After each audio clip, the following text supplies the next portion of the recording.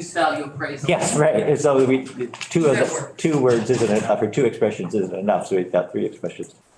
So, um, if, if the two of you would like to both be up there, there is another chair, but if you were gonna tag team, um, that's fine too.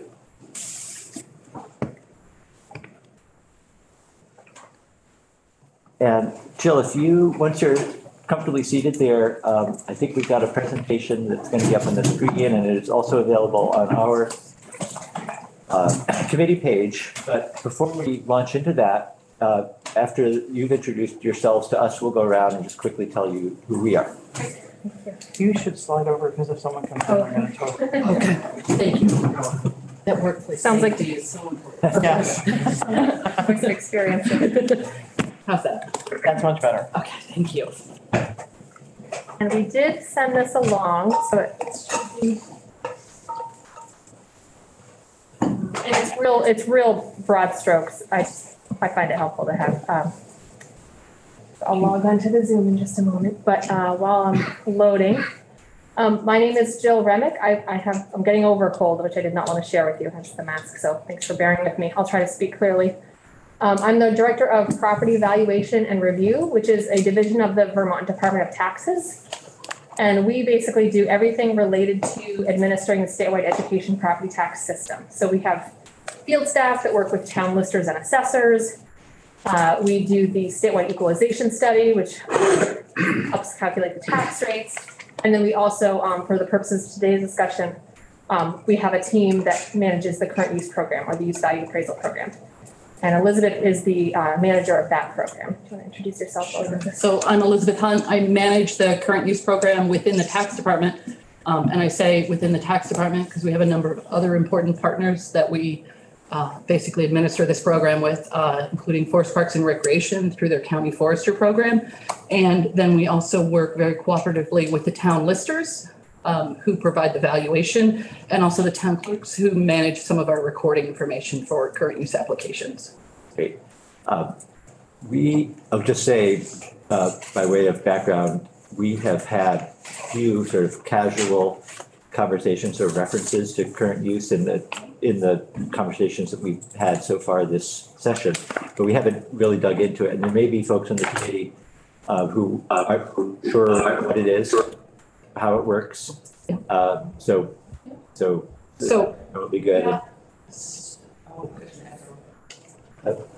That could be, uh, Oh, it's us. you, you, you guys, okay. Um, It's, so the presentation that Jill and I put together, the first part of it deals with sort of the numbers in the background. And Jill will do that part of the presentation, and then I'll jump into sort of how do you qualify for current use? You know, what's a category? So you'll get sort of both the numbers and the programmatic end of it. And then Uh, all right, uh, we'll go around, uh, and introduce ourselves, starting with Representative Graham. Um, Rodney Graham, I represent Orange Three, which is Williamstown, uh, Chelsea. Jed Lipsky, I represent Lamoille One, Stowe. Henry Pearl, I represent Danville, Peacham, and Cabot. Charles Wilson, I represent Caledonia Three, which is uh, Lyndon, Sheffield, Wheelock, Sutton. I'm David Templeman from Orleans three, which includes Westmore, Barton, and Brownington. Josie Leavitt, um, Grand Isle Chittenden, all of Grand Isle County, and a little part of West Milton. Mike Rice, Bennington Rutland District, Danby, Dorset, Landgrove, Mount Tabor, and Peru. Don O'Brien, Windsor Orange One, that's Royalton and Windsor, Tunbridge. Esme Cole, Windsor six, Hartford. Heather Surprenant, Windsor four, Barnard, Pomfret, and Bridgewater. Thank you. And David Durfee, uh, Shaftsbury, Bennington, and Glastonbury. And Thank you for being with us. Yeah, thank you for having us. So, um, yeah, so like I said, this is a real, real broad stroke setting the table on what current use is and isn't. So it will inevitably, I'm sure, come up in your committee. Um, I've been with the department since twenty fifteen. Elizabeth's been there longer. twelve years, I think. So I, I thought it would be really helpful to have her as the administrator of the program in case you folks have specific details you want to get into. But overall, current use, um, this program has been in place in one way or another since the late seventies and early eighties. Um, it started as a working lands program and has evolved. But if you want to read the statutory language about it, it's, um, it's chapter one twenty-four in title thirty-two. So title thirty-two is all the taxation related statutes. And it has a very clear statutory purpose. It's very much aimed at, um, preservation, about protecting Vermont's working landscape, um, ensuring equitable taxation and sort of planning for an orderly growth. And so this sort of overall statutory construct guides the administration of the program. And in essence, um, Elizabeth and her team are reviewing and processing both enrollments, changes to enrollment, additions to enrollment, withdrawals, and also just regular maintenance of the program. I have one of my slides that just shows all the different partners that her team works with because it is not the way that maybe our income tax processing goes. You get a piece of paper, you review it, looks good, move on. Current use has a lot of folks involved in the administration because it involves local listers and assessors, it involves forestry and forestry management. It has very specific um, requirements for eligibility for things like agriculture. Um, and so we'll get into that. So the idea is essentially there's a current use advisory board. That's again part of the, the statutory construct made up of a combination of um, appointees such as Commissioner of Tax, a representative from Forest Parks and Recreation, um, members from the listing, assessing, and municipal uh, governance um, sectors. It has to have a specific makeup, so it's not weighted too heavily on people who have land and are enrolled in the program and not. And the current use advisory board makes rules that oversee the program. And they also meet every year. They just did, I think, last week to set the use value. So the way current use works essentially is a landowner who wants to enroll their land in the program applies to have their land enrolled in the program, and we'll, we'll get into all the different specific ways that folks can be eligible. And in exchange for having your land enrolled in the program, there's a lien placed, a contingent lien placed on the property. And pro- your property tax bill will actually reflect to getting taxed those use values rather than fair market value.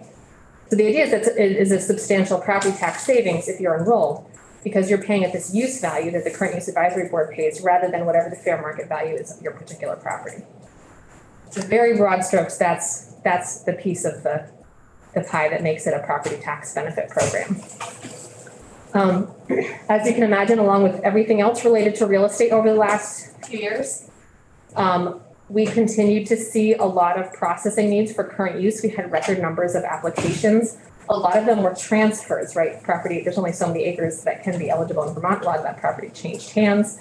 Um, but right now we're up to more than nineteen thousand parcels in Vermont enrolled in the program, which is a little bit more than a third of Vermont's overall acreage. And as you can see, the, there are owners obviously who have more than one parcel in the program. Um, there are owners who are both in-state and out-of-state owners. The total forested acres, as you can imagine, if you look at a, a you know GIS map of Vermont, it's a lot of forest land. Um, but then the total acreage is a little over 2.5 million enrolled in the program. Farm buildings, again, have pretty specific reasons they can be eligible. Instead of having a use value assigned to them on your property tax bill, they're taxed at zero percent fair market value. So as you can imagine, farm buildings range for everything from like, um, you know, very small sheds to high-end sugar processing, dairy processing, things like that. So there's a pretty wide range of farm buildings. Um, the total value of enrolled farm buildings in the latest tax year um, was three hundred and seven million dollars. And if any of you want to dig further into any of this, I've got links at the end of this to our annual report. So we have a town by town breakdown of uh, the savings, the value of, enrolled um, acreage, value of enrolled farm buildings, and so on, broken out by town in our annual report. so we often get asked, what are the taxation impacts of this? So um, the this part of the statutory construct is that municipalities should not be penalized financially for having land enrolled in the program. So the idea is that basically based on what our enrollment is and the various tax rates in different municipalities, we calculate a hold harmless payment that goes out to the towns every year that essentially um, covers up the difference of what municipal tax revenue would have been. I think there might have been a concern, especially at the beginning when current use was fully administered at the local level, that it was a disincentive for a town to have land in the program because they were going to miss out on their municipal revenue. So this is a way to correct that. So that's a payment that goes out annually uh, from the general fund, and this year it was about $18 million. Another question we get asked is um, about property tax revenue, certainly, because the idea is that you're paying on that use value, not on fair market value. Um, so the foregone education fund revenue is about forty-seven million dollars in this last dollar figure. So the total savings to landowners is a little over sixty-five million dollars between municipal taxes and, um, education taxes. And as we like to say, Elizabeth is always reminding me, we haven't captured the economic impact of things like forest and agriculture, which are significant, right? So keeping that in mind when we talk about, maybe the ed fund hasn't made that, but we also have sales and use and other things that pay into the education fund that um, certainly can be attributed to some of our for- forestry and farm um, economy. So again, so like I said, uh, current use administration involves a lot of individuals, involves the landowners who are making that decision to enroll. Um, the landowners usually get help from consulting foresters, especially if they're, um, they're, they have forest land in the program, they have uh, specific requirements they have to meet for forest parks and recreation. Uh, we deal with a lot of real estate attorneys, right, because folks at closings, or if they're considering selling or purchasing property, they want to know the implications. Uh, Elizabeth's team works closely with the county foresters at Forest Parks and Recreation because they actually oversee the forest management plans and the administration and approval of forest management activity. Um, so they have a pretty significant um, role in overseeing current use program. Uh, we also have a small team of five of us. Hard to say. We've had, you know, we have kind of a revolving door, but we've got people coming and going. But we have a small team of specialists at um, PVR is property valuation and review.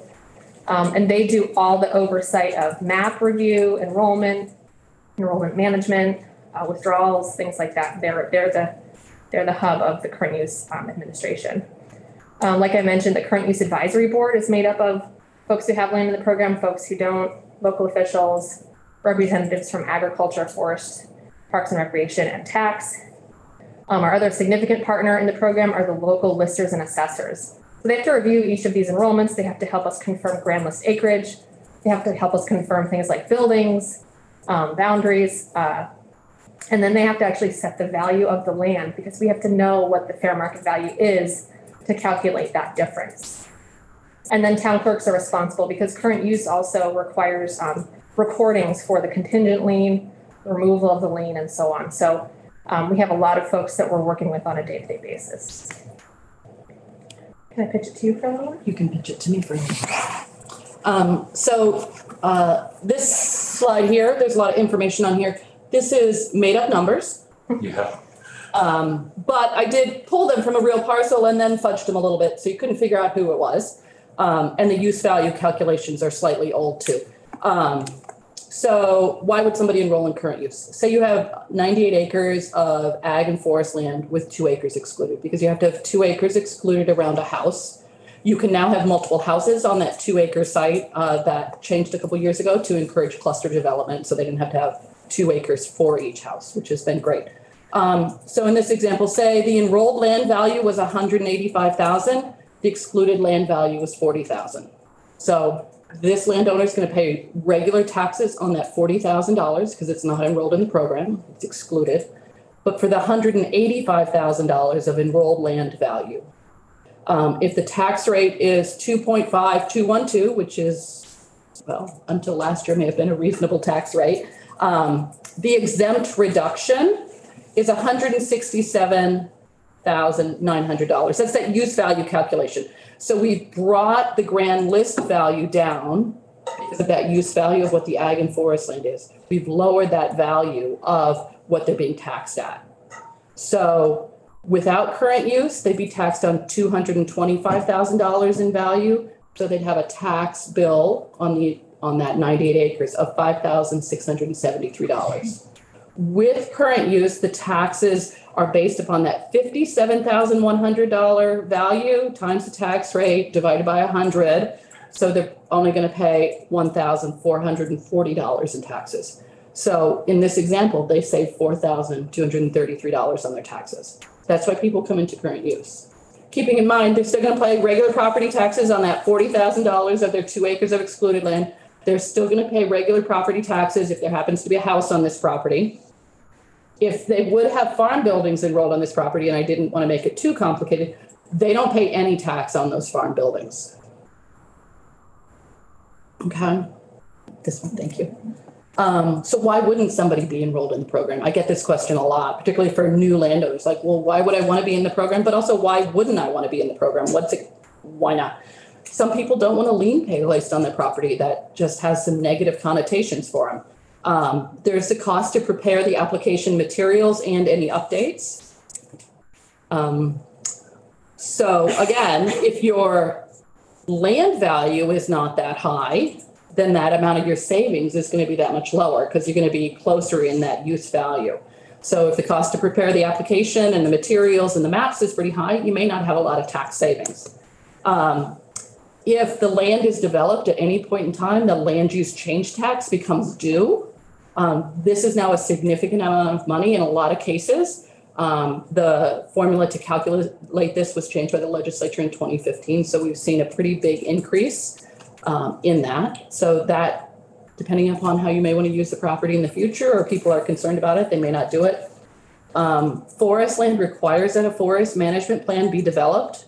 Uh, it, you, the landowner can do it, but in most cases, a licensed forester is going to develop that, which means the landowner has to hire them, have that prepared, and then the county foresters who work for the Department of Forest Parks and Recreation have to review and approve that plan, and then the landowner is required to follow that plan, which may be regular harvesting, it may be dealing with invasive species. Um, the landowner does have a choice on how they want to manage their land. Are they going to manage it um, for firewood? Are they going to manage it for sawwood? And it's also based on what the inventory of those trees are.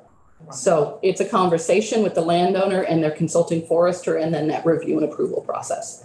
Um, agricultural land and buildings do not have that same process of having a management plan prepared, but they do now need to turn in an annual certification that we send out to them that says that they are still in active agricultural use and they qualify for enrollment.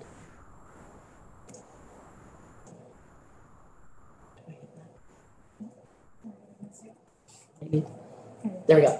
So um, let's talk about what can be enrolled for forest land. Um, for forest land enrollment, at least 25 acres of enrolled land, exclusive of house site and developed areas, um, with a minimum of 20 acres of productive managed forest. Um, and I'm just going to also add an aside that this slide does not represent any changes that are coming because of the reserve forest land. That doesn't take effect until July 1st. So that's not yet in here. This is what exists as of today. Um, you have to have that forest management plan with a map prepared.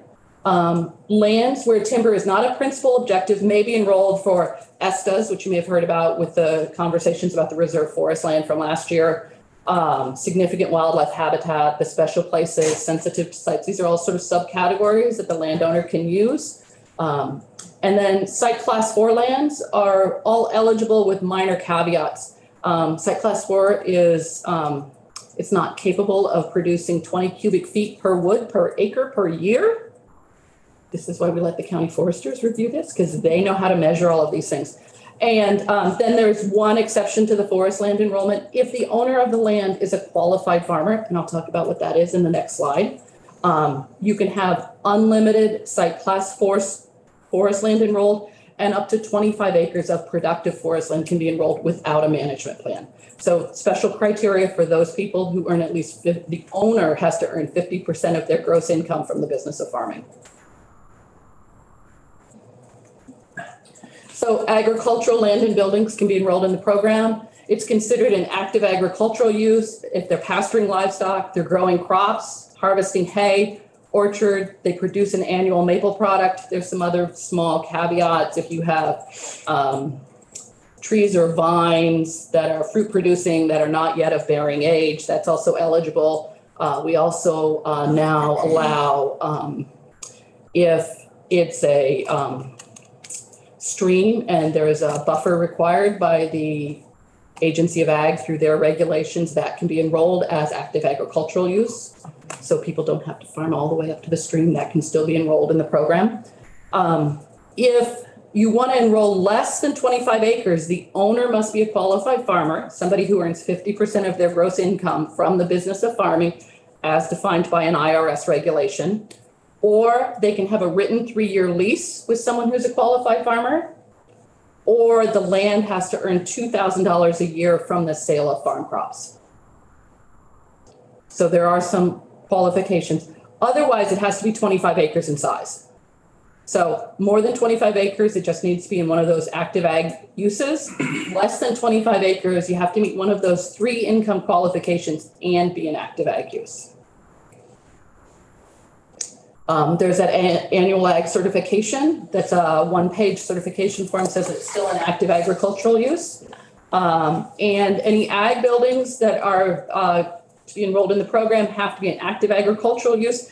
And either the owner of the land has to be a qualified farmer, or the buildings have to be leased to a qualified farmer.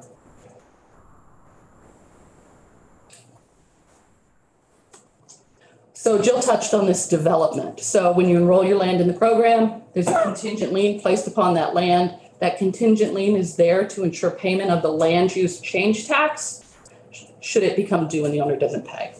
So what is development? And development's a little unique in current use. It is what you might think. You build a house, two acres are developed around your house unless you've done that cluster development in an existing two acre exclusion.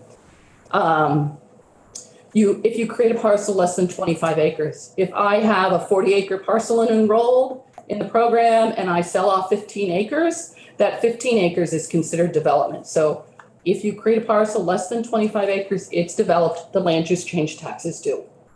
Um, there's an exception if it's to an immediate family member and the immediate family member re-enrolls that land. So it has to be, meet those income qualifications of the less than twenty-five acre parcel. Uh, if you cut contrary to your forest management plan, so your forest management plan says, I'm only gonna control invasive species, and you do more than that.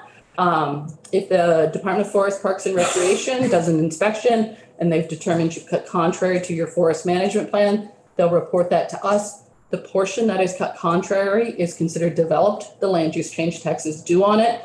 And then all of your remaining forest land is also removed from the program for five years. If you construct any building, road, or other structure, any mining, excavation, or landfill activity, those are considered development, and the land use change tax will be due on the portion of the land that's developed. Uh, unless you're using those things for farming, logging, forestry, or conservation purposes. Um, and, um, the final one is agricultural land where there's a water quality violation reported um, by the Agency of Agriculture, Food and Markets to the Department of Tax. That one's got a whole lot of processes that need to be followed before they come out of enrollment. So this land use change tax. So the land use change tax is due upon development of the land or if the landowner wants to remove the lien. So if you just want to get the lien off your land, maybe you intend to sell it at some point in time. Maybe you're a new owner, you don't want to be involved in current use, you don't want the lien on the land, you want it to come out. So in either case, the land use change tax has to be paid. Um, the land use change tax is ten percent of the fair market value of the land. And the value is the land as if it were a separate parcel on the grand list. So if you're gonna take out, say you're gonna take out five acres of land, you're gonna send us a map, show us where that five acres is. We ask the local assessing official to determine the value of that five acres as if it were a separate parcel on the grand list. That gets divided by the CLA for the town. The CLA is, um, in very simple terms, is a ratio of what things are assessed at in town versus what they're selling at. So it just sort of equalizes that value. Um, and then it's ten percent of that value that's determined. So if the town says it's fifty thousand dollars, your CLA is at one, your taxes can be five thousand dollars. And the municipality, because this changed in twenty fifteen, the municipality is doing that valuation. So in twenty fifteen, when we changed how that calculation works, um, it was determined that they receive fifty percent of the land use change tax that is collected up to two thousand dollars. Okay, my turn again. Good, I don't know what this one says. And we, we do have a separate, um, sort of presentation articulation of some of the current challenges with the land use change tax. We certainly didn't want to dump it in here on our building some foundational understanding, but we would love to come back and talk to you folks about that. Um, just about what we're finding as far as the, uh, treatment of various taxpayers, the difficulties in administering that and whether it's actually had the intended impact or not. Um, it's, it's proven pretty challenging, but this is what it is as of right now. Um, I figured, I was reminded last night, I should remind folks, if you see, um, in the governor's budget, we are asking permission to use money that is actually supposed to be in the, the current use administration fund um, to help us with some digitization in the program. So specifically, we have, um, there, I can't remember if it's from a property transfer tax return or where exactly it comes from. Um, but the current use program has an administrative set aside that was supposed to be coming to our program for modernizing and, and supporting the program. Um, and so we are asking permission to use some of that money. There is a surplus in there to help us digitize our current use records, to upgrade our, um, application system. Um, we have been able to get some pretty snazzy, hopefully, they haven't actually all shown up yet, some equipment, because right now we're still very paper reliant. We are, um, we are reliant on paper maps because they need to meet a certain scale and we have to send them to the towns. Um, it's still, uh, and so this all creates a lot of paper and a lot of files. And so we would like to be able to scan those and digitize them so that we can have us and our staff access them easily. Um, we've got two full file rooms right now. Um, and staff, if they want to look back and see, because as you can imagine, since this program has been in place for a long time, there are multiple generations of maps for any given parcel, and we have to keep track of where the lien still is, where the lien isn't, and so on. And so those are all kept right now on paper files, so we would like to digitize those.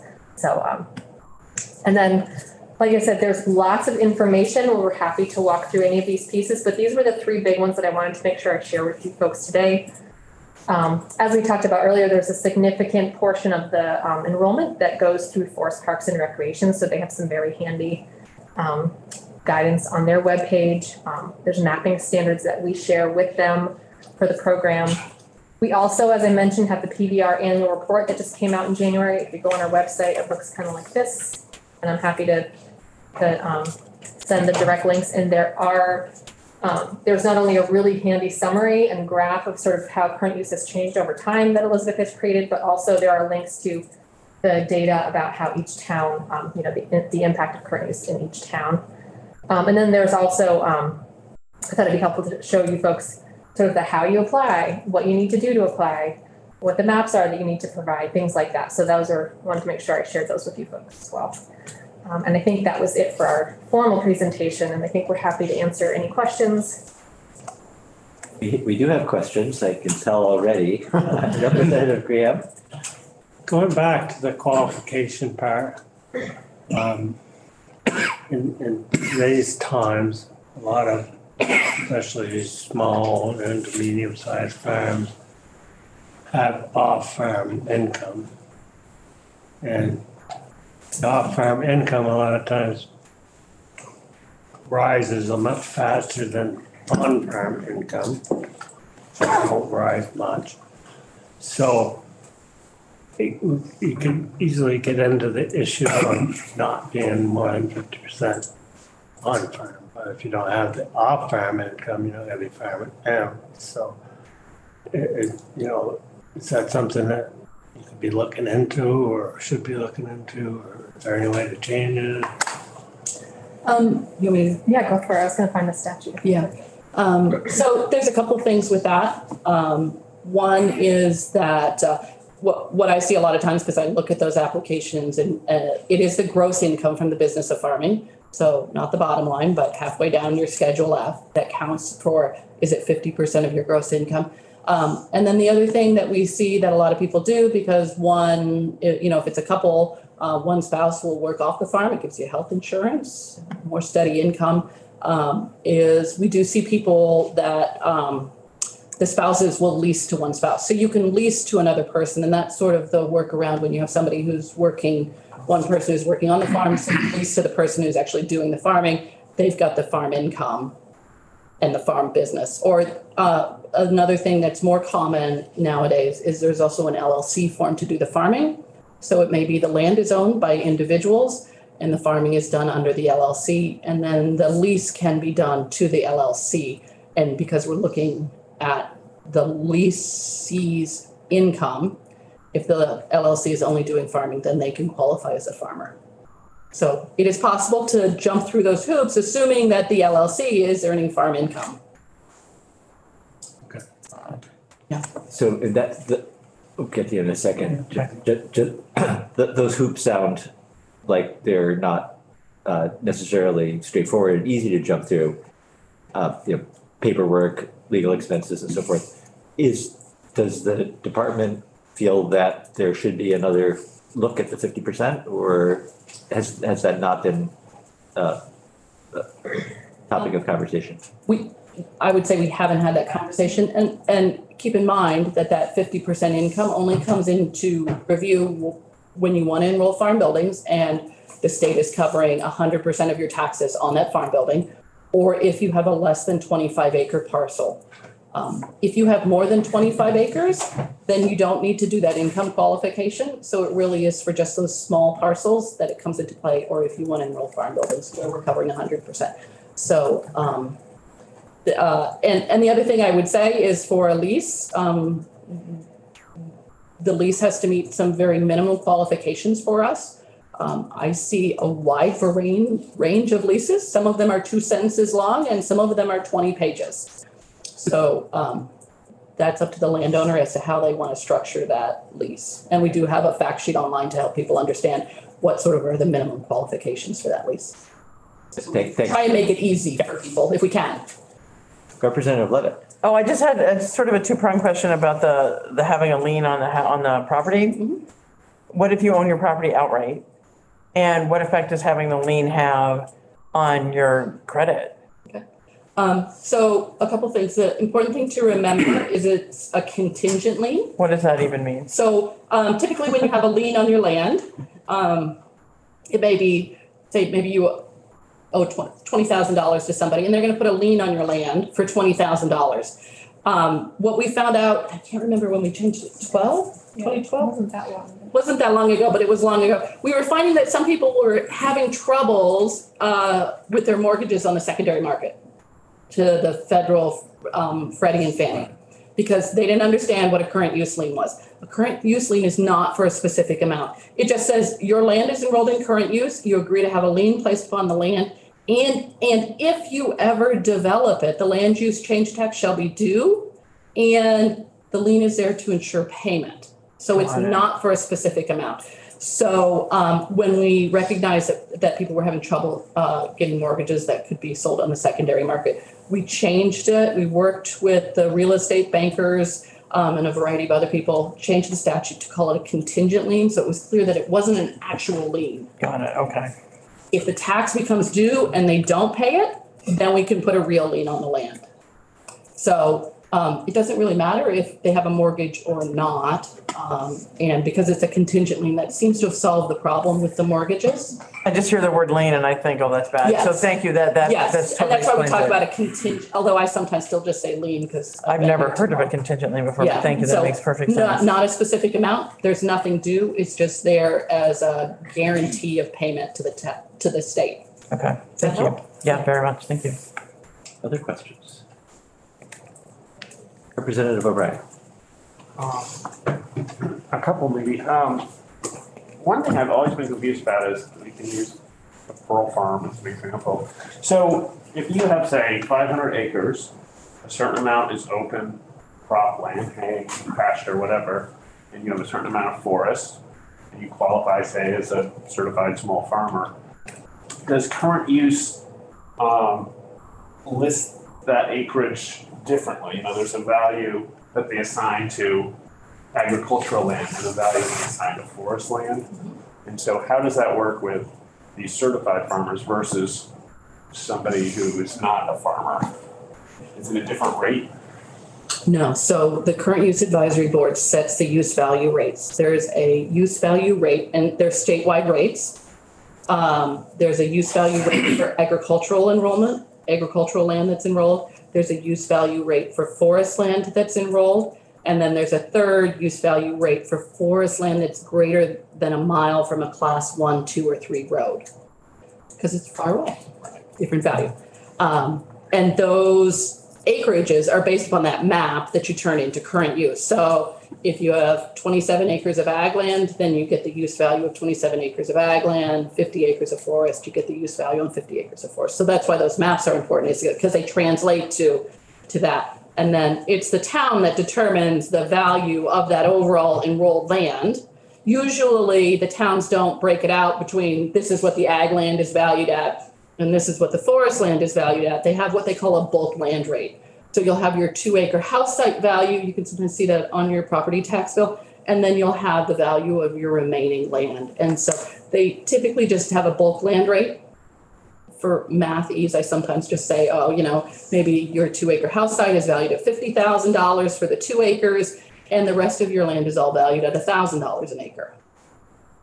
So, and then that thousand dollars is replaced by whatever the use value is for your number of ag acres and forest acres.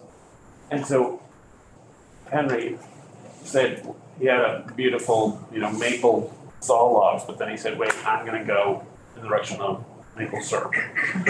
Does that change because it, its designation went from agricultural or Oh. forest land to agricultural? Yeah, so again, it's what your map says. So do you have it enrolled as Sugar Bush Ag? And Sugar Bush is a great example. Sugar Bush, the landowner can choose to enroll it as agricultural land because annual maple product is Right. an ag use. Or the landowner can choose to enroll it as forest land. So they can have Sugar Bush Forest has a better use value rate for the landowner if it's forest land, but you also have the cost of preparing that management plan.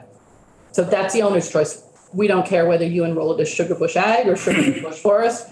And it's also to the landowner's advantage because if they're sort of at that in between of meeting the twenty-five acres in one category or another, they can choose how to use that. Does that answer your question? Okay. Can I ask one more? Please. Or- I just, I just wondered if there were discussions at, at PVR and, and current use of whether this current use program would count as a, as a payment for ecosystem services. Say, say that last bit again, sorry. If current use, the program, since, when did it start? Nineteen seventy-nine and the first payment was made in nineteen eighty. Would it be considered a payment for ecosystem services, which is what we're talking a lot about in here, because it's what it's done, right? The management side of it seems like you could make a good case that it is. I'm just thinking going forward of making payments to big farmers, if they would qualify if they've been in this program. Um, I- I would, I haven't thought about it, so off the cuff. Um, I, I might say no, because we're not actually making a payment to anyone. It's a tax forgiveness program, but it could be your point of view, right? Uh, um, in the early years of the program, the, it was structured slightly differently because the towns administered the program and the state just dealt with the payments. So there was more of a payment functionality back then. Um, I, I don't, you know, I'm sure an economist could make an argument either way. Yeah, I was just gonna add, I, you know, we are focused on administering the program as it's laid out for us, so we actually don't try to sort of debate the larger merits much. Um, yeah, so we sort of bear witness to things, and so we can provide that information. And that's why, so for instance, you know, the land use change tax, it's sort of in, in our little, like little universe, that's something we, we manage it every day and we deal with that.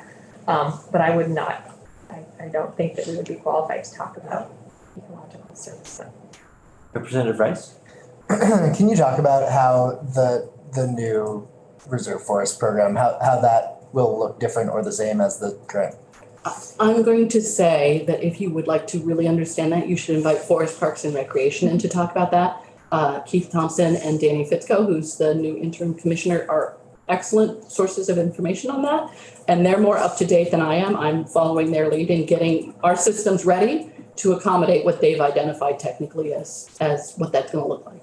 So So I'm gonna pass. well, we will definitely invite uh, Commissioner Fitzko in to talk about that. And who else did you say might be? Keith Thompson, who works for the commissioner. Okay, So it's essentially a new treatment category. Well, it's not new, it was in there, but not to the level that it is. And it has very specific parameters that FPR will review and allow that enrollment. So we wouldn't get it till it's already gone through their review. Right. And it doesn't have a different use value rate or anything like that. It's the same use value as the other forest land.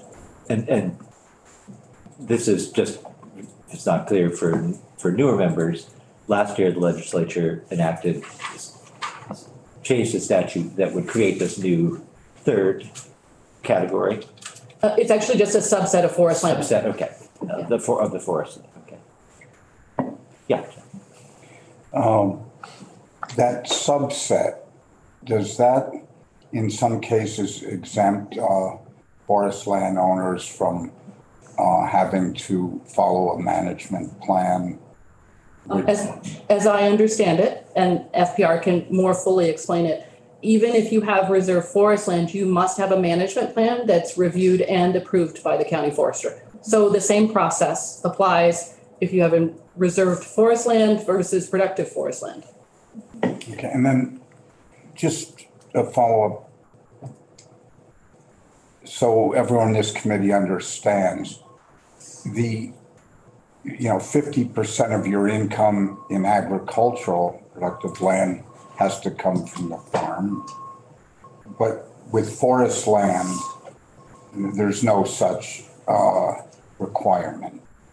Correct. There's no such requirement. And also keeping in mind that that fifty percent of the gross income from the business of farming is only to enroll farm buildings or less than twenty-five acres of ag land. Right. So the example I use, I date myself a bit, but you know, you could be the vice president at IBM and have land enrolled in current use in the agricultural program if you had thirty acres. So anyone Oh, got it. Anyone can have land enrolled in the agricultural category as long as it's an active agricultural use and it's more than twenty-five acres. So it doesn't matter how you earn your income if it's more than twenty-five acres. Income only matters if it's less than twenty-five acres or if you want to enroll your farm buildings. Thank you. Representative Graham.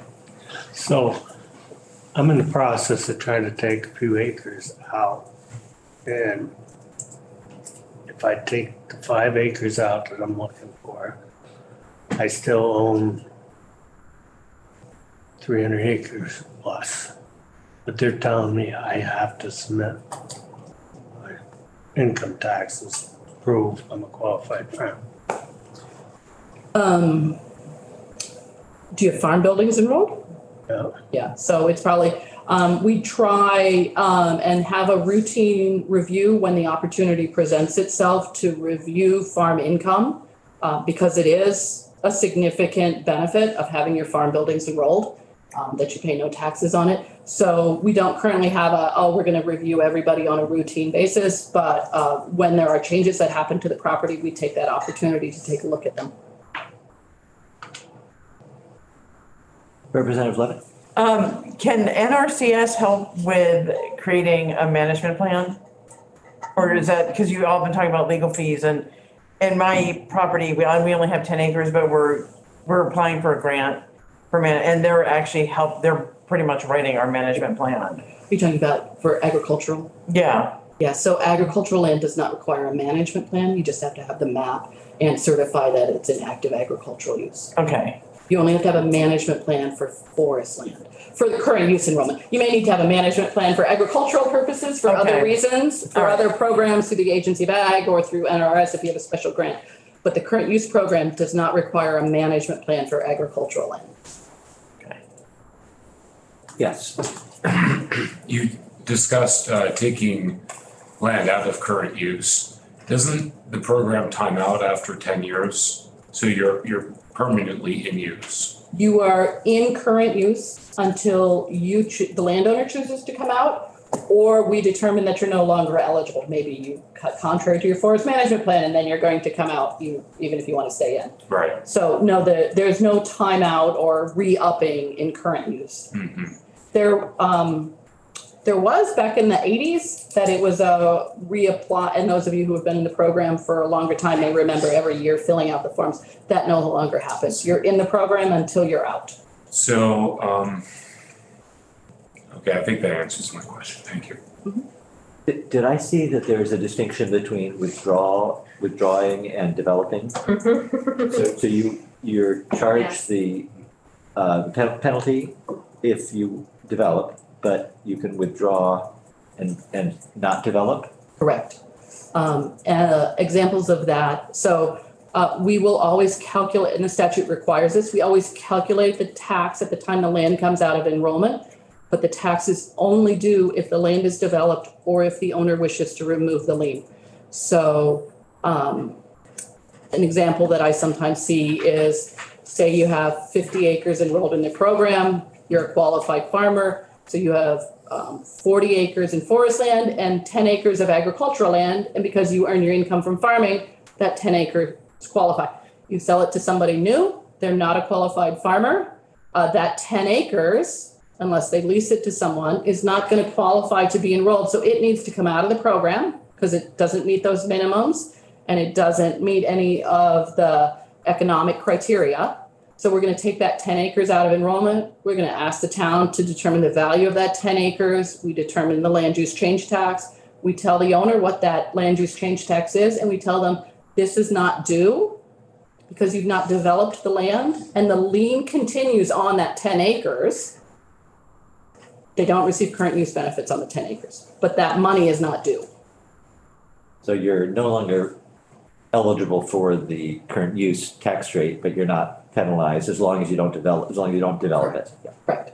And a lot of, you can imagine, there's a lot of those that we are tracking, that they're in that withdrawn but not developed status. So there is a contingent lien on that property.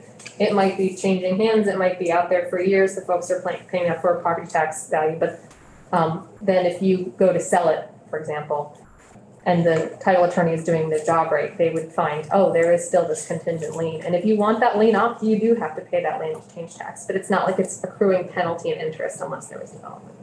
Uh, Representative Rice and then Representative, So just to make sure I understand, the, if, if somebody cuts, um, contrary to their plan, they, the whole property comes out, but they only owe the tax on the specific acreage on which they cut. Yeah, all of the forest land is removed. All of the Forest land is out for a period of five years, minimum five years, and then they have to apply to come back in. It's not mm-hmm. automatically back in. And the tax is only due on the portion that was cut contrary. Fifty acre parcel, you cut contrary on twelve acres, the tax will be due on the twelve acres.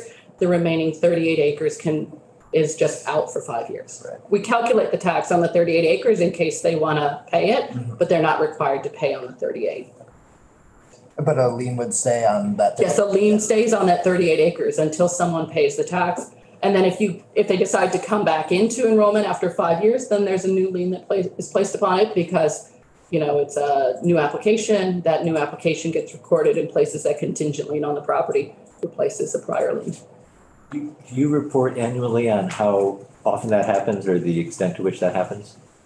The adverse inspection or just people coming out of the program? Pe- People, people who are not following their plan and are being uh, held accountable. Um, we've not provided that information in the annual report. Um, um, I see some of those. It's not, it's for nineteen thousand parcels, it's a very small percentage of them. Um, and FPR may be able to provide you more accurate information because those, FPR has to report that to us. So it's not the tax department deciding independently that it's an adverse inspection. It's FPR doing that ex- inspection and reporting the findings to us and the landowner. Uh, Representative Lipsky had a question unless you had follow-up. Just quickly following up on that, is it, um, is it, is this, is, are they usually complaint driven or is, are there inspections happening? Uh, FPR is, the county foresters are required in statute to inspect, uh, enrolled forest land parcels at least once every ten years. So I, sometimes I think it happens as part of the inspection, um, sometimes because the, uh, uh, county foresters are living out. Um, they're not purely county-based anymore, but they're definitely living out in the community, so they may see the log truck going by and go, hmm, Jack? Thank you. I'm not sure on the calendar, but approximately 10 years ago, some of us who had our ag land in current use, it was, maybe it was during the, the big recession a while ago, one of the big recessions, that if you wanted to remove your land, there was going to be a window of no penalty. Uh, yes. Recall what that year was? Um, there've been, those are, uh, colloquially referred to as the easy outs. The, yeah, it was an easy out. Easy outs. There have been a number of easy outs over the years. There The were, most recent one. uh, there was one in twenty fifteen Yes. when we cha- when the penalty structure was changed to allow people to come out of the program if they wanted to come out. And the requirement was that- that they had to be out for, I can't remember now if it was three years or five years. It's beyond that time frame, so I've lost track of what it was. my, so, and I did that because I had children and I needed to have, give them something. While I still had something. And I don't recall having, once you take that easy out path, uh, I, I didn't believe I had to get a real, that lien disappeared. Uh, it, it did actually, so the, it was a one-page sheet of paper and you would have said, I want to take out six acres of land and here's my map showing where the six acres of land is. And then we signed the bottom of the form and sent that off to the town clerk to record to release the lien on that six acres. So it would have been a one-page sheet, may not have been very memorable. It was a short sheet. It was a short, we tried to keep it easy. Representative O'Brien. I have a Josie inspired question, um, or Grand Isle, right? Okay. So Josie told us that Grand Isle, the islands are, what, seventy percent ash trees? Yes. So what happens, you can, perhaps going forward, you know, if like emerald ash borer, this decimates a forest, or, you know, we have four years of drought in Addison County, or even something simple like a farmer sells their cows, they still have a farm, but, but the land's growing up. Like, what, how is that use value calculated? Because Hmm. it's so much less than it would have been when they were.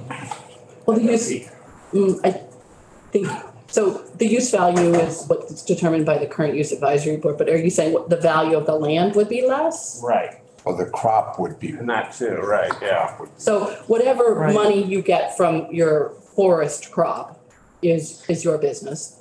Um, that doesn't figure into your current use benefits one way or another. Um, But if it's worth, worth, worthless land essentially. if it's worthless land, then, uh, in essence, if the town values that, so the town would have to value that land lower, right? They would have to say, oh, your land isn't worth a thousand dollars acre anymore, it's only worth five hundred dollars an acre.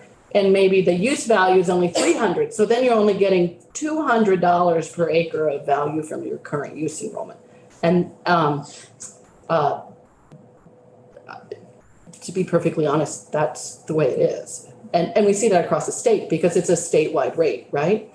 Your value of your land in, say, Woodstock is much different than the value of your land in, say, Alburgh or Derby. And so the, the benefit that someone gets varies across the state because it really depends on what is your tax rate in your town and what is the value of your land. And the value of your land can change dramatically too, even within a town. And so it's a statewide rate, and so it, it, it varies. And that's the nature of the program. Quick question, um, and this might not be, this might not be, this could be the wrong program, but under ten acres, but let's say you're, you're dealing with getting rid of all of the invasives on your property. Not current use, current use. Because we're, we're trying to get a grant through one of the agencies to, because we have so many invasives and we have so many ash trees, so we're trying to be proactive about having a forest plan. So where does that fit in? So, um, Because I mentioned, you guys mentioned invasives. Yeah. So your forest management plan, if you are enrolled in the forest land category, um, I, I don't see a lot of the forest management plans because I don't review them, but occasionally they end up in the mail attached to something. And I am curious, so I look at them. Um, they can deal with invasive management as part of your forest management plan. Okay, And, uh, you know, Keith Thompson and Danny Fitzko can give you more information as to what that looks like. And it's really their, and you still have to have either the, the, the ten or less or the twenty-five or more.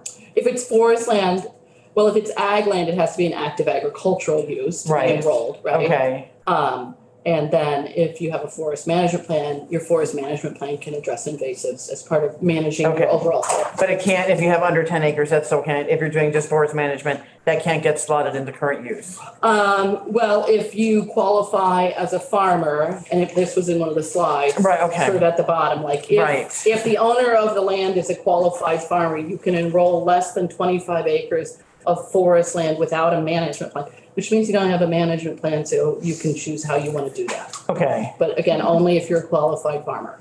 not, okay, good to know, thank you.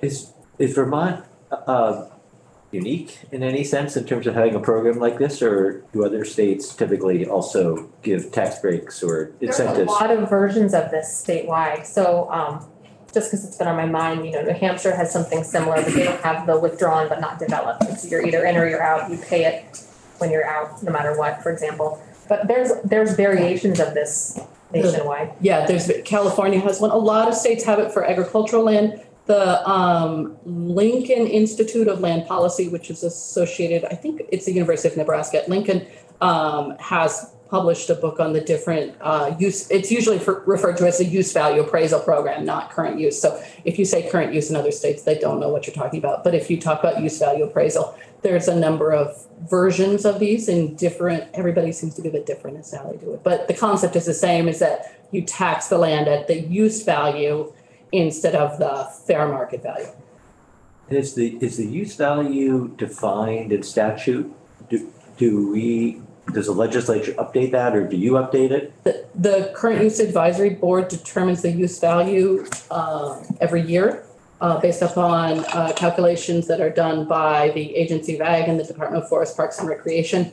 It talks a little bit about that in our annual report. Um, If you, um, it's, it's an average of an average um, because we want to sort of, it used to be, and, and I see, it used to be that the use value used to do a lot of this uh, because it was based for the ag use value was based on milk prices. That led to a lot of heartache, both for farmers, depending upon where you are in that, and also for the state for budgeting purposes. Um, so we've moved away from that, and it's been more than twelve years because I, it, since I've been here, we haven't used the milk prices. We now use information from the na- uh, USDA's um, National Agricultural Statistical Service for pasture and crop rental rates form the basis of the ag use value.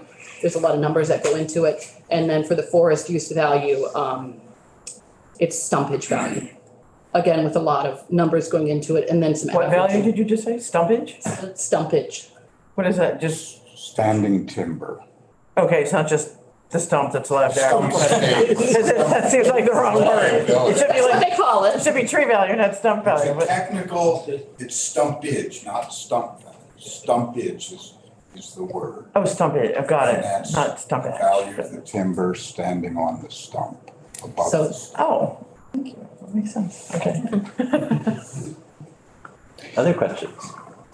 Representative. It just, as long as we're being silly here. There- We're talking about uh, the ash dominance in Grand Isle County, what I've dealt with, and some has to do with management plans, some has to do with uh, Act 50. There's a notion of law called an act of God. Let's say you had this pristine forest and a, an extreme storm event occurred and flattened ninety percent of your stumpage. And I've done a lot of tornado cleanup in western Pennsylvania, New York State, well, all over. And I mean, the stumps are ripped up too. It's amazing. But you would not be found in violation of your management plan. Just like if the emerald ash borer killed uh, ninety percent of the crop in Grand Isle County, an extreme weather event would not, you couldn't be removed because you mismanaged it. Right, because that was God managing. Uh, But I, I Retort. would say, um, that in those cases, like if that's happening and you needed to, uh, change how you're managing it because you had a severe storm event, you would contact the county forester, uh, through your consulting forester and say, I need to change my management plan because my forest structure has changed dramatically, Got it, right? okay. Because you still have Yeah. to figure out how you're gonna manage it. What are you going to do now? If you don't have any trees left, Well, right. you will have other trees, I hope. Oh, Could call Chad. Oh, yeah. Representative Better O'Brien. call and We, we, we're about up at our time. Are, are you able to answer a few more questions or do you need to? I can. Okay, Representative O'Brien? Just, just an equity question. I mean, you don't really deal with policy, but you have to answer to it at some level. So just from what you said, it's costing the state of Vermont a lot more to keep a farm going in Stowe than it is in Newton, right? Because it's that gap between what the fair market is and ag land is, and it's a statewide, right? Price. So this one, I just never really thought about that. And, and I would say, uh, current use is, uh, revenue neutral. It doesn't matter how much money you make, you can be in current use. Doesn't matter if you make nothing or you make millions. That's not the purpose of the program. It's not an income sensitivity program. it's a land management program, and that's important to remember, and that's been the policy all along. Representative Templeman. So your program um, collects money in conditions of development and then clearly um, uses money to offset people's taxes. Is there an overall income to, to output ratio that, you know, like what the total budget is minus or net minus these returns that you get? Um, well, I, I think the short answer is sort of no, you know, so that, that slide I showed earlier about the, the, of course, I'm Right. showing, you know, it's, it's sixty-five million dollars a year that is not either, is, is paid out to support the program, the eighteen million that goes for the municipal hold harmless, and then there's forty-seven point five million in ed fund revenue that is made up statewide. Um, the land use change tax is a much smaller dollar figure. That's really designed not to be a revenue generator, but to be a penalty. Mhm. And there is uh some cost sharing of that. We distribute um fifty percent of that up to two thousand to the towns per collected, so. yeah. Yeah, and I just pulled up the numbers, which are in our annual report. So land use change tax for twenty twenty-two that was assessed, so on developed acres, so money that we would be collecting was one point seven million. Um, if you go back to twenty fifteen, um, which was prior to the change of that formula, it was around four hundred thousand. Wow. And again, that's on developed acres. That's not tax on land that's just come out, because we, that's just And that's the only positive flow you're seeing. Um, from a sense of money in your pocket, yes, but, um, I'm always, um, I think it's always important to recognize that current use brings a lot of other economic benefits to the state that aren't quantified in a tax department sense, um, but are very important to Vermont's economy. Sure. I don't want to Yes. suggest anything else, yeah. Uh, But yeah, clearly there's a, there's a cost of it. Yeah. Yes. A net cost, yeah. Great, well, um, any final questions? I, so we will, uh, definitely have folks in from, um, forestry to tell us more about the new category or subcategory and answer any questions that, uh, which, and recognizing it hasn't actually started yet, but that it's coming along. Um, and then did you, earlier in the presentation, suggest that if we wanted to know more about something, Yes, thank you. back? So, um, for the past, so the, in twenty fifteen, the legislature made several significant changes to the program, and one of which led to the easy out. So the land use change tax used to be a pretty straightforward, if you were taking out a portion of the parcel, you prorate that value, and that's what you charge land use change tax. So in twenty fifteen, it was changed that you valued that if you pulled out a portion of your enrolled acreage, you're valuing that as a standalone parcel. The idea being, I think, that it was supposed to be a higher penalty. So um we are seeing that that is a higher penalty, but it is all over the map as far as what that actually is statewide. Um and the more we sort of crunch the data, the more we could tell that this is, you know, it's an effective tax rate from like one percent to like eight hundred percent. Um some towns have done the value differently, where if they're valuing as a standalone parcel and you've taken out a nice five acre lot on a view shed, then, but it's not, if if they're valuing as landlocked, because it's supposed to be valued as a standalone parcel, then it's actually valued lower, so it's, um, basically, I first started wanting to do something about it because we were having a hard time getting these values from listers. It's become sort of part of our processes on top of everything else to nag to get these values and to administer this program.